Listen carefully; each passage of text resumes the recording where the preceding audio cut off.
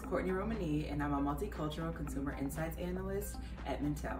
And here are three things I think about black hair care. Number one, consumers are taking control of their hair care needs by doing their hair at home.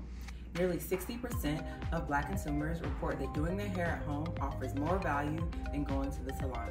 Consumers are looking for affordability, convenience, and flexibility when it comes to hair care, giving brands a crucial opportunity to engage with them at home. Number two, black consumers are in need of a new narrative around black hair.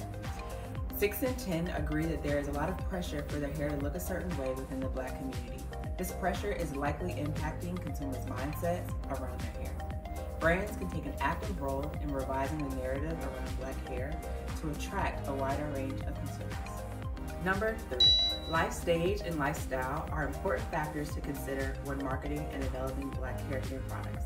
While many brands have focused on hair type and texture in the past, consumers are looking for products that can withstand both the elements and their daily activities. Whether it's a high school athlete or a working mom of three, brands that show their formulas work with the consumer's lifestyle are more likely to see consumers fit their product into their routine.